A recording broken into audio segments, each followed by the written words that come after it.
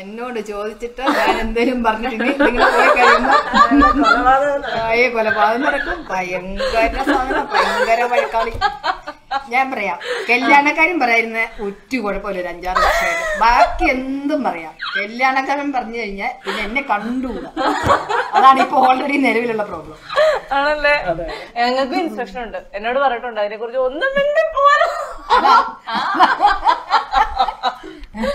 എന്നാൽ ഈ ഡാഡി ഒന്നും പറയില്ല. കല്യാണക്കാര്യത്തെ കുറിച്ചോ ഒന്നും പറയില്ല. അപ്പൊ അവർ അവർ രണ്ടും എപ്പോഴും ചേർന്നേ നിൽക്കത്തുള്ളൂ. സമയമാകുമ്പോൾ നടക്കും. അതാണ് എന്റെ. അത്രേ ഉള്ളൂ അത്രേ ഉള്ളൂ. ചുമ്മാ നടക്കുവോ? മതി മതി. എനിക്ക് ഭയങ്കര വിഷമം വന്ന് ഇതുവരെ ഒരു പ്രണയം ഉണ്ടായിട്ടില്ലെന്ന് കേട്ട് കഴിഞ്ഞപ്പോഴത്തേക്കും നല്ല സീരിയസ് സീരിയസ് മാറ്ററാണ്. അപ്പൊ അങ്ങനെയുള്ള ആളുകൾ അടുത്ത് ആരും അത്ര പെട്ടെന്നൊന്നും അടുക്കില്ല അല്ല അതാ സംഭവം. പിന്നെ എന്താ പറയുമോ? നമുക്ക് അതിനൊരു അച്ഛനും അമ്മ എപ്പോഴും ഇങ്ങനെ പുറകെ നടന്നു കഴിഞ്ഞാൽ പറ്റില്ലല്ലോ. സിറ്റുവേഷൻ വേണം. വെറുതെ ഒന്ന് ഫ്രീ ആയി വിടണം നമ്മളെ. അങ്ങനെ ഒരു ഇതൊന്നും ഇല്ലെന്നേ. നാ വലിയ സാന്ദ്രയായിട്ടാ കൊഞ്ചി കൊഴിഞ്ഞ എന്നാ ഇവിടെ മേട്. പറയുന്നത് കേൾക്കുമ്പോ ഭയങ്കര സംഭവം. ഇത് താങ്ങാൻ പറ്റുന്നില്ല.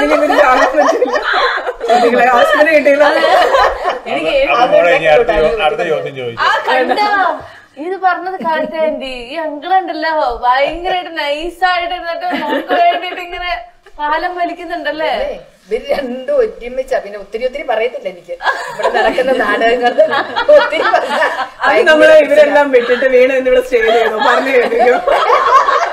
ഇവരെന്താന്നറിയോ പാർട്ടികൾ ഒരു ഒരു കഥ പറയേണ്ടി ഒരു ആഗ്രഹം കൊണ്ട്. പറയട്ടെ. ശരി. പ്ലീസ് ഇവരെ ഒരു എട്ടാം ക്ലാസ്സിലൊക്കെ പഠിക്കുന്ന സമയത്ത് ഞാൻ എപ്പോഴും ഇങ്ങനെ സ്ട്രിക്റ്റ് ആയിട്ടെന്ന് പറഞ്ഞാൽ ഞാൻ കുറച്ച് വഴക്കും മുട്ടയിലൊക്കെ നിർത്തും. അടിയൊന്നും കൊടുക്കില്ല. എന്നാലും പറഞ്ഞ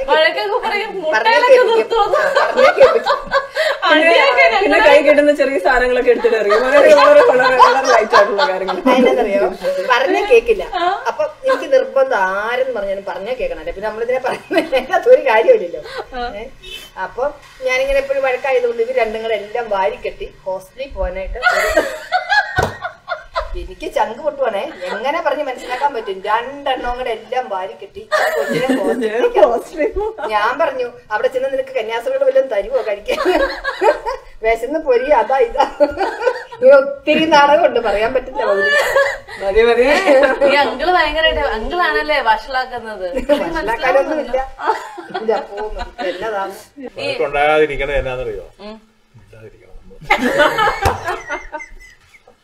ആന്റി ഹണി റോസിനെ എന്താ വീട്ടിൽ വിളിക്കുക ഞാൻ മോനെ എന്നാ വിളിക്കുന്നത് മോനെ എന്നാ എടി ഡാഡിയാണ്. ഹൈലൈറ്റ് ചെയ്ത പാർക്കുട്ടി ഉച്ചയ്ക്ക് ഒരു പേര് രാവിലെ ഒരു പേര് വൈകിട്ട് വേറൊരു പേര്. പൊന്നൂന്ന് വിളിക്കും.